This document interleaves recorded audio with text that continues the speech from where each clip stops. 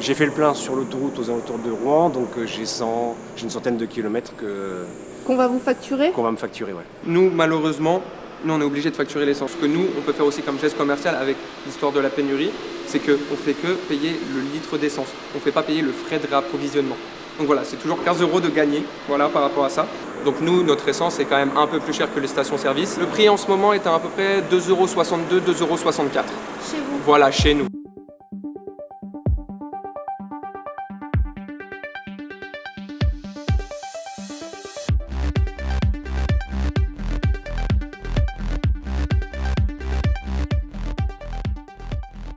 Donc voilà, donc ce qui reste à régler du coup, donc ce sera le prix donc, euh, de l'essence, donc avec 11 litres.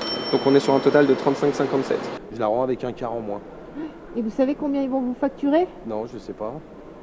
Beaucoup cher Et Il y avait des stations quand même qui avaient de l'essence? Non. Il n'y a que la Via là, qui a- mais il y a une queue de. On a pour trois jours là. Alors je vais juste faire votre retour Et puis on change. et on va changer euh, pour la fin.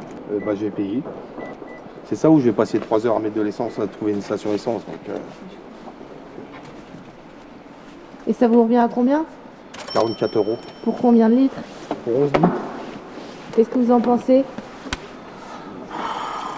C'est que là on est dans un contexte inhabituel. C'est pas que je veux pas leur mettre de l'essence. Donc euh, ils auraient pu- Ouais, sachant qu'en plus, vous- je vous dis, à l'aller, vous m'avez laissé deux heures à attendre un taxi. C'est carrément le patron d'ici là qui est venu me récupérer chez moi, etc. Qu'est-ce qu'on peut faire pour ra- rattraper la situation Et ben m'enlever les, les 44 euros. Euh, Tout le carburant Faut que, faut que, je, que je confirme ça avec mon superviseur. Tiens un peu. Alors? Ils m'ont fait un geste commercial vu que j'étais, euh, vu fait une erreur à l'aller.